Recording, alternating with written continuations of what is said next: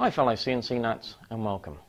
In my last video you would have seen me use the laser shoe attachment to make this here, the round turret.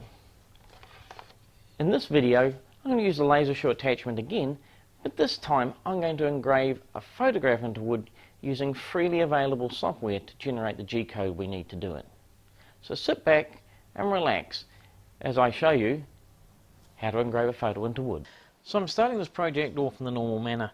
I put my stock on the table and just squared it up to the table. And now I'm going to bring the laser shoe in and I'm going to line up the little arrow here with the X I put in the center. With my pointer above the X, I can now take out my drill bit and set the height for the Z. I'll just bring it over here to the There we go. So that's now the correct height above the stock and the pointer is now directly above my X. I can now set max 3, Mach 3 to be directly above my X and now that I've done that I need to remember to get rid of the tape. Back to the origin. And we're ready to machine this.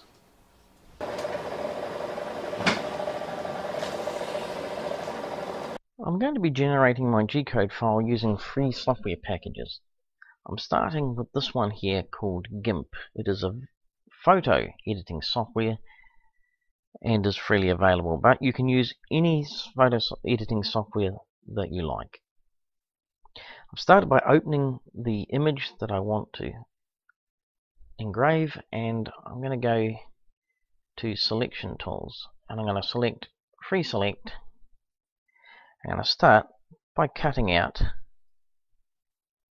the photo the section that I want to engrave of the photo. I don't want to engrave the entire background that'll take far too long. This will make it a lot quicker. So I'm going doing is just going around this here and just making points.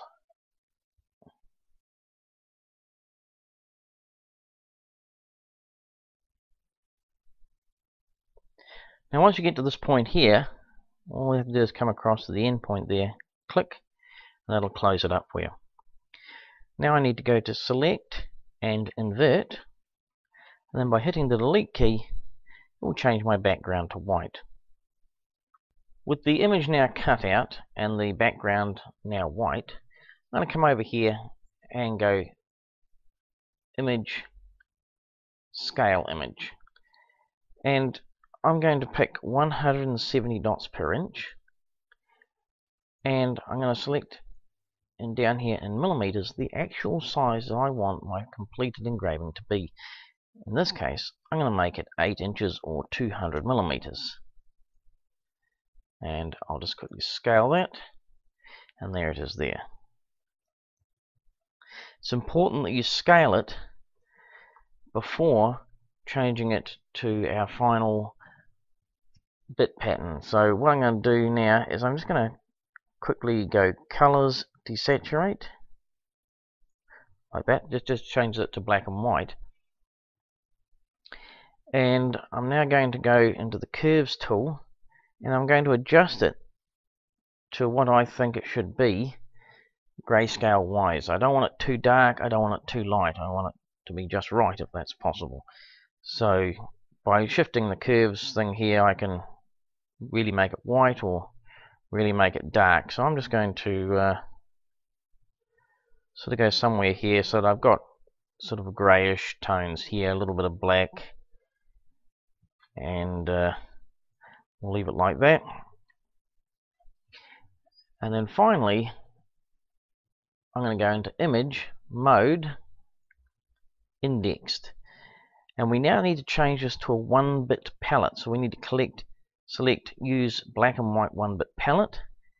And we need to go Floyd Steinberg.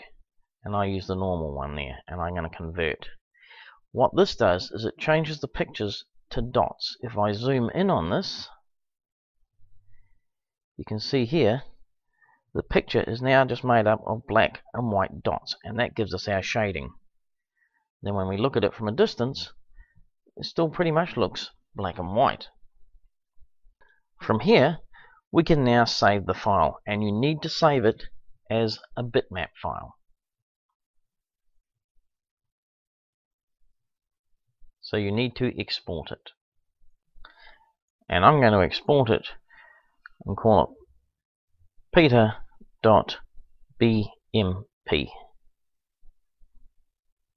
and just export. And that's that done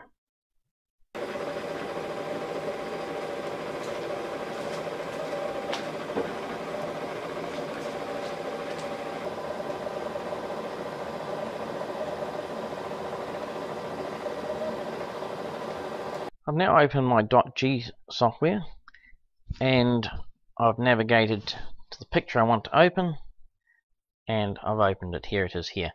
Now you'll notice when it opens that it looks pretty hideous here but if you actually uncheck this little box here it will no longer try and compress it into this box here but will show it to you as uh, you can just see the section that this here covers so that's what the final thing will area that will be printed, but this is what it will actually look like when it's printed.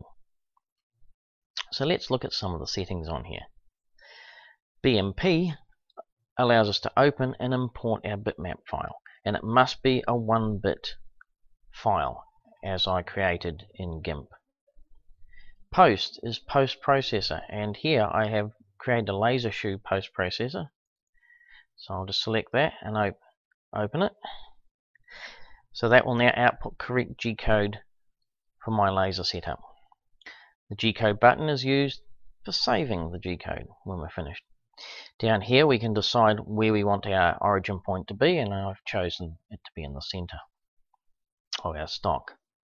Here is what machining strategy I want to use. Now I want to use a back and forth one but you can choose going from left to right or from right to left. Down here you can decide whether you're engraving dots or I assume this one here is engraving white. I don't know how you engrave white, but this one here shows whether you want multiple dots to be done as a line, and I've chosen that as an option. I've given it a tool number of tool number 1, and I've just set a spindle speed of 8000. I just left it as it was. I've got an X and Y feed rate of 1000 and a Z feed rate of 15,000. Over here I'm not using these two settings but here my X and Y raster that determines what size the dot my laser makes and I've decided it makes a 0.15 millimeter dot. It seems to work fine so I've just left it at that. Save Z zero, uh, distance I've just set to 0. Uh, depth of minus 1. So when it's at minus 1, the laser will turn on. When it's at 0, uh, the laser will turn off. Over here, uh, you have your accelerations and rapids, and I've just filled these here in uh, using figures from my machine, and I believe these are used to simply calculate the approximate time it will take to engrave. And down here you can select what type of uh, M commands you want.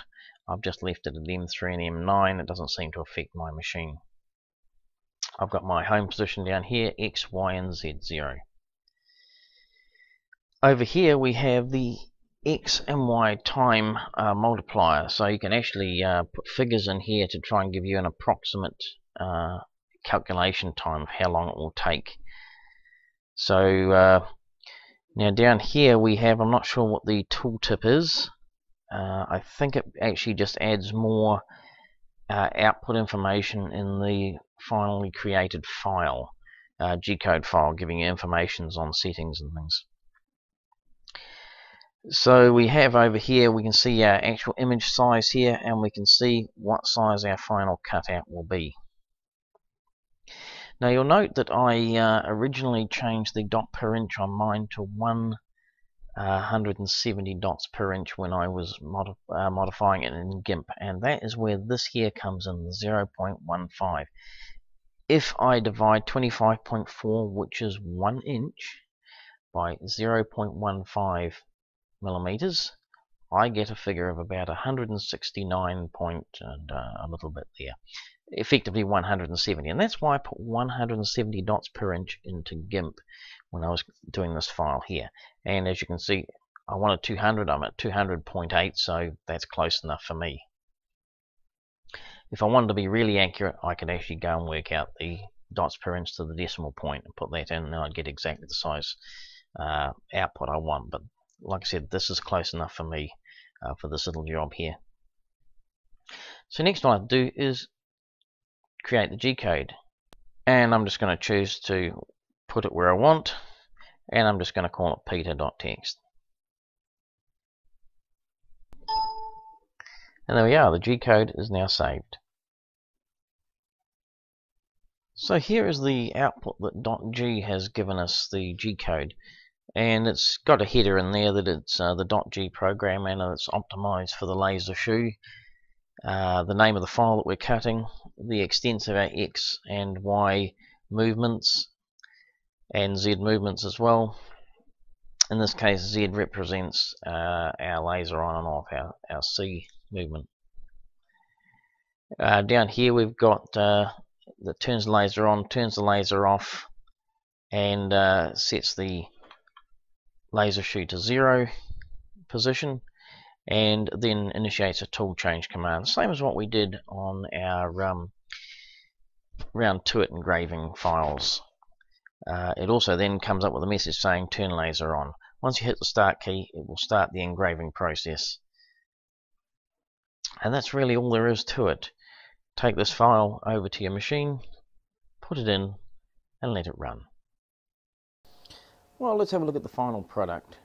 Three and a half hours of engraving and more than half a million lines of G-code.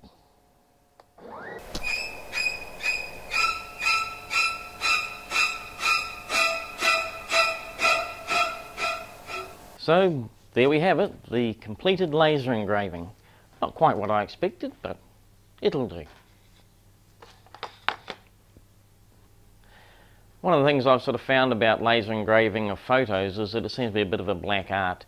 Depending on how much you fiddle with the photo in post-production, uh, the settings you set your laser to uh, in the DotG software and all the rest of it, feeds, speeds, all the rest of it, the wood type you're using, the grain that the wood has and all the rest of it, you just end up with different uh, results on different woods. So the best thing to do is to play, find out what your machine's capable of, how it works, what works best for you. And best of all, have fun. There's no point doing this if you're not having fun. I'll put a link in the description box below to where you can download the DotG software as well as an English translated manual done by a gentleman by the name of Tweaky. I'm also going to put another link to a software package called PicEngrave. One of the guys there, Jeff, introduced me originally to the concept of adding a laser to a CNC machine and uh, his work is just phenomenal. So go and check out uh, the website and have a look at some of Jeff's work. It's just absolutely super, superb. If you've enjoyed this video, please remember to like it, subscribe to me on YouTube, follow me on Google+. In the meantime, thanks for watching and I'll catch you guys later. Cheers.